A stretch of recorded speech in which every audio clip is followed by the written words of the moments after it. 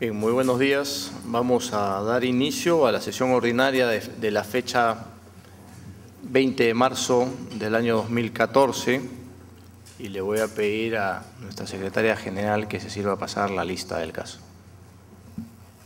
Señor Carlos Alarco Proaño. Presente. Señorita Rocío Andrade Boteri. Presente.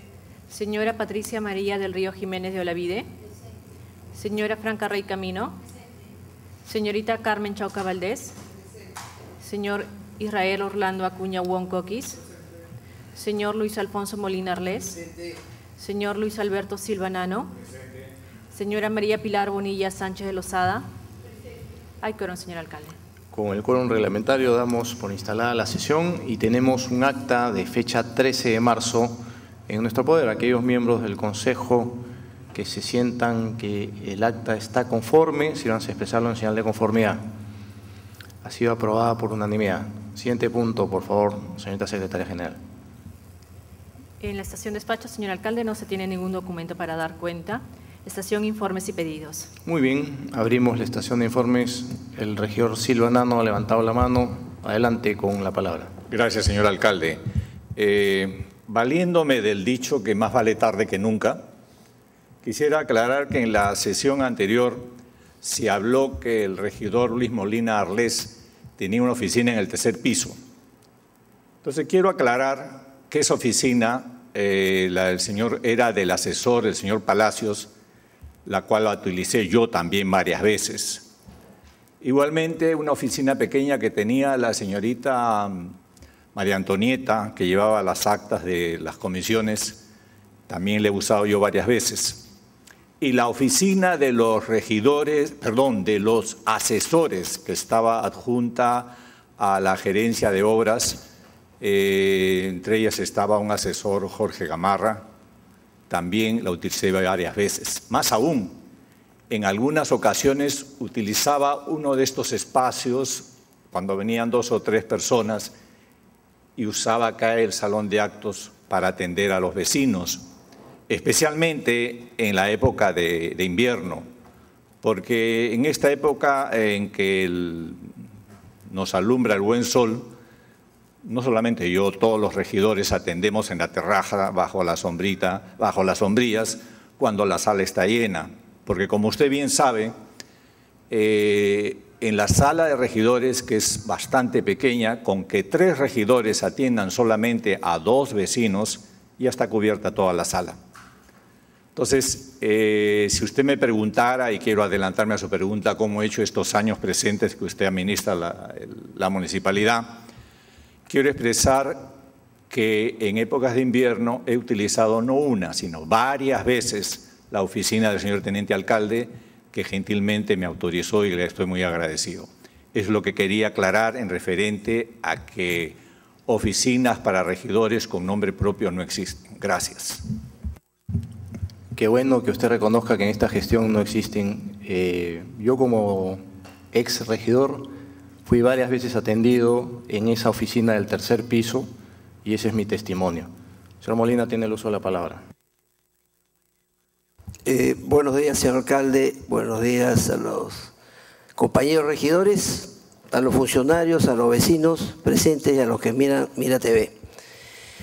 Señores regidores, se les ha entregado copia a todos ustedes de dos sentencias de fecha 11 de octubre del 2011 y 8 de abril del 2013 Ambas resoluciones judiciales son del primer juzgado permanente contencioso administrativo de Lima y la otra de la segunda sala de la Corte Superior de la especialidad contencioso administrativa en la que se ha pronunciado el Poder Judicial en ambas en el sentido de declarar que la demanda que interpuso el abogado Sergio Mesa Salazar es infundada y confirma la suspensión de seis meses que se aplicó al actual gerente municipal y cuya consecuencia directa es que el mencionado gerente municipal se encontraba impedido de aceptar el cargo al momento de su nombramiento. No estoy, señores regidores, señalando ni calificando la sanción. Lo que estoy indicando es que el abogado Sergio Mesa, sancionado por esta municipalidad, la demandó, o sea, interpuso la demanda y no logró desvirtuar las razones que justifican la sanción que le fue impuesta. Al abogado Mesa no le han bastado la existencia de dos sentencias contundentes que no le dan la razón, sino en una maniobra dilatoria ha interpuesto recurso de casación ante la Corte Suprema. En vigencia plena del Estado de Derecho y de actuarse correctamente, el nombramiento de la Mesa no debió producirse y menos solicitar la ratificación del acto por este Consejo. No cabe duda que el abogado Sergio Mesa fue nombrado por el alcalde a sabiendas que aún no había cumplido con su sanción y cuando ya se había judicializado estos hechos. Señor alcalde, siendo usted abogado y teniendo conocimiento que el Poder Judicial ha declarado que la abogado Mesa debe cumplir con esa sanción, usted lo mantiene en el cargo como gerente municipal, con el agravante que por estos hechos usted ha sido denunciado ante el Ministerio Público. Mientras tanto, la municipalidad mantiene un litigio con el abogado Mesa que tiene doble condición de litigante con intereses contrarios a la municipalidad y por otro lado es su principal funcionario administrativo. Nuestra corporación es testigo de un acto sin precedentes en ninguna de las casi, de las casi 2.000 municipalidades del país. En cualquier otro gobierno local, el gerente municipal hubiera sido removido por actos contrarios a la ley como contradictorios para la institución. El abogado Sergio Mesa quien por un mínimo de decencia debió renunciar al cargo que ocupa y al menos permanecer suspendido los seis meses su sanción. Al contrario, el señor alcalde ha logrado que sus regidores se conviertan en cómplices de actos ilícitos. El tiempo de intervención del regidor ha Sí, perdón, pero son cinco minutos informes. ¿ah? Vaya concluyendo, señor, porque ya concluyó su tiempo. Pero son cinco minutos este, los informes. Pues, ya se pasaron. Pero permítame terminar. No me permite que importe. La próxima sesión continúo. Perdón. A ver, Señor Molina, eh, usted mismo conoce cuál es el reglamento. Sabe que hay cinco minutos para informar, ya se concluyeron sus cinco minutos. es, correcto, es correcto, señor alcalde. La próxima sesión voy a continuar, no se preocupe. Perfecto, no hay ningún problema, ese es su derecho, así como también es el derecho del señor Mesa de interponer un recurso de casación, como usted ha comentado. Y como bien señala usted, y es cierto, nosotros... Pero señor, no hay debate, señor este alcalde, ¿ah? Simplemente es un informe, no es debate. Señor, por favor, usted está rompiendo el reglamento, no hay debate acá. Señor Molina, otra vez más usted no venga a ensuciar la sesión, no venga a querer imponer una voluntad que no es la voluntad que está en los reglamentos, simple y llanamente para poder aclarar algo que usted ha dicho, que desde una perspectiva legal no es correcta. Usted también ha estudiado Derecho, y cualquier estudiante de Derecho con un conocimiento elemental del mismo sabe que mientras que las cosas no están finalizadas en el Poder Judicial, no existe la calidad de cosa juzgada. Y también cualquier estudiante que ha seguido un curso elemental de Derecho sabe que existen derechos constitucionales inherentes al ser humano que permiten a uno ejercer un derecho de defensa. Eh, usted también sabe que hay muchas personas que podrían denunciarlo también a usted, como que de hecho ha tenido alguna vez una denuncia. Y no solamente por el hecho de que lo hayan denunciado, a usted se le va a considerar que es un delincuente. Tendría que ir hasta el último, hasta la última instancia, y que exista una situación de cosa decidida o de cosa juzgada. Cuando eso se da, ahí sí se declara la calidad de la persona que se le ha sentenciado en esa línea. Entonces, yo lo que quisiera es que por favor no se confundan las cosas. Y esto es un tema, eh, regidor Molina, que yo tengo muy claro, que viene desde algunos años atrás y es una situación personal, que usted la ha estado persiguiendo desde hace mucho tiempo atrás. Usted inició un pedido que no se sintió satisfecho con relación a eso cuando fueron gobierno, y a pesar de que a usted no le gusta que digan que usted manejaba esa gestión, eh, usted propició que se le sancionase al regidor Mesa. Y ahí comenzó toda la historia. Y ahora usted, con un énfasis y con una pasión, defiende la situación que yo creo que ya eso evidencia que hay un, hay un encono personal. Pero no nos Señor debemos- si usted no me ha mencionado, yo no tengo otro, no otro derecho a debemos- una intervención. Usted no, tiene... de- debemos si usted me ha mencionado, tengo derecho a... Acá está la sentencia, señor y la Molina, sentencia por- es clarísimo, por que dice que la Corporación por eso Señor Molina. O sea, que no ha cumplido con entregar... O sea, Luego del cuarto intermedio, eh, estamos todavía en la sección de informes. ¿Hay algún otro informe en mesa? Si no hay más informes, cerramos la estación y vamos a lo que es orden del día. Orden del día. Proyecto de ordenanza que regula los horarios de ejecución de las obras de edificaciones privadas y de los trabajos de acondicionamiento y refacción en el distrito de Miraflores. Debate. Señor Molina, tiene el uso de la palabra. Sí, eh, señor alcalde, eh, no sé si podemos ver el proyecto de ordenanza. Parece que hay una contradicción acá, salvo que me expliquen bien las cosas. Eh, en el artículo tercero, tipos de horarios, inciso 2, párrafo segundo, dice así. Acta de compromiso con la firma de cuando menos al 50% más uno de los vecinos de la manzana donde se encuentra la obra, incluidos los ubicados en la misma cuadra, ¿no? Quiere decir eh, la continuidad o la ampliación del horario. O sea, acá en este párrafo señalan que tiene que haber vecinos de acuerdo con un 50% más uno. Está, per- está perfecto.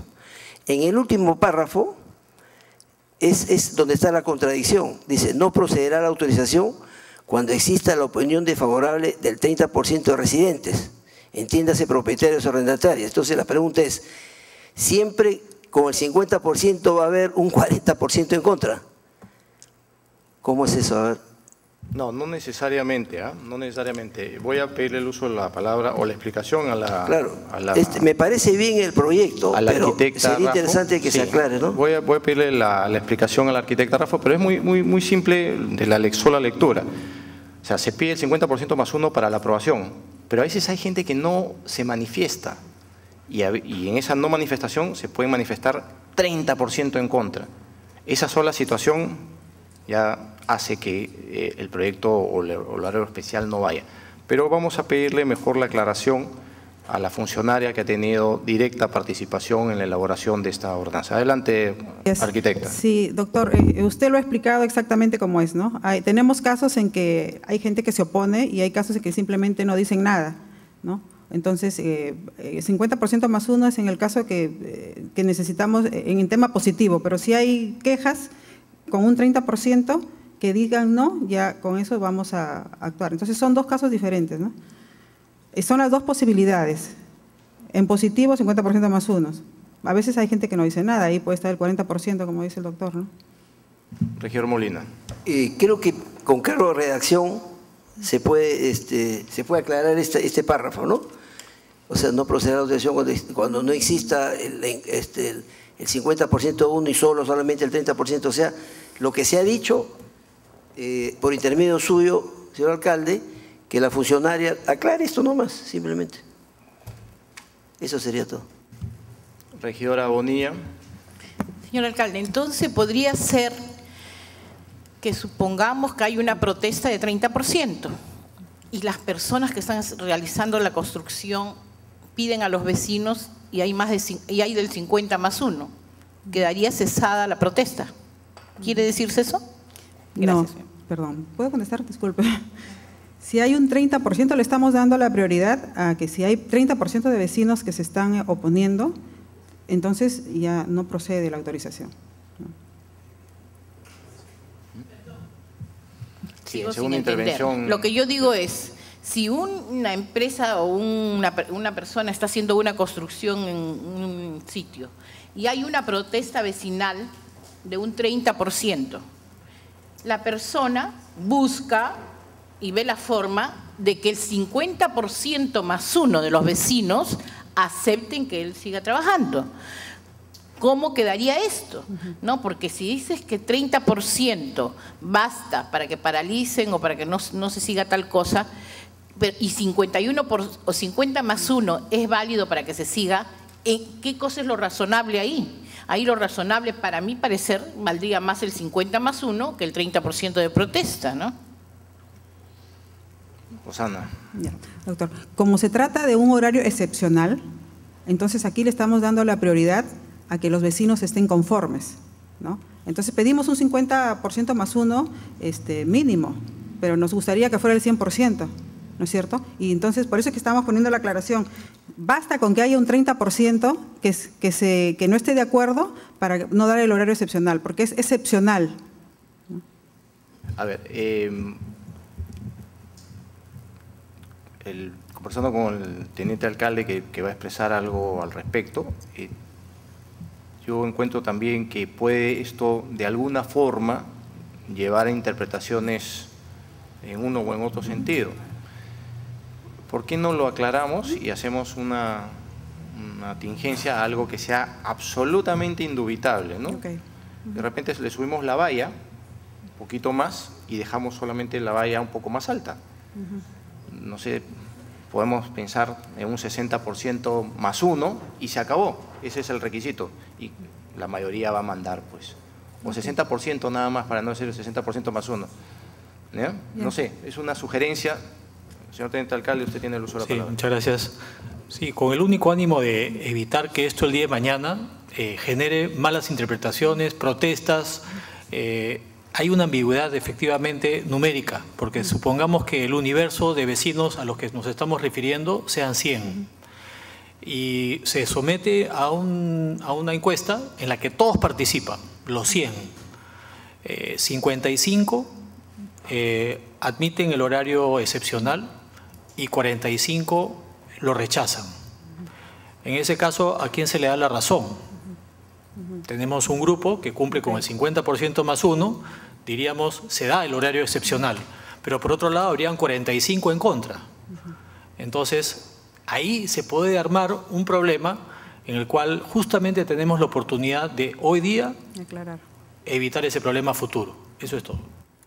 Okay. Sí, en ese caso, tal como está redactada la norma, no habría permisión porque habría un número superior al 30%, sin duda, pero eso es una interpretación que podría admitir alguna otra contrainterpretación. Por eso que yo creo que como una cuestión sana deberíamos levantar la valla y quitar la, el, último, el último párrafo. Señor Silvana no tiene el uso de la palabra. Eh, de acuerdo con esa posición, señor alcalde, me parece que sería la solución, ¿no? Poner la valla en 60 y olvidamos de otro.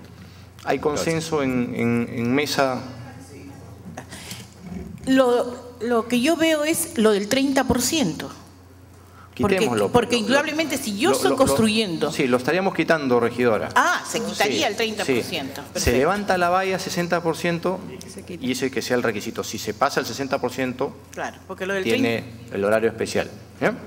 Ok, entonces con la atingencia de que el, la valla sea del 60% y con la corrección del caso, vamos a someter a votación este proyecto de ordenanza. Aquellos miembros del Consejo que encuentren que la norma es adecuada, si no se expresarlo en señal de conformidad.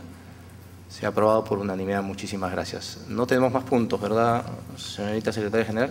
Es todo, señor alcalde. No habiendo más temas que tratar, eh, voy a pedir que, por favor, eh, permitan la exoneración de aprobación del acta para la ejecución inmediata del acuerdo tomado esta mañana, o los acuerdos tomados esta mañana. Aquellos miembros que estén a favor de aprobarlo, si no se expresaron en señal de conformidad, se aprobó por unanimidad. Muchas gracias. Se levanta la sesión.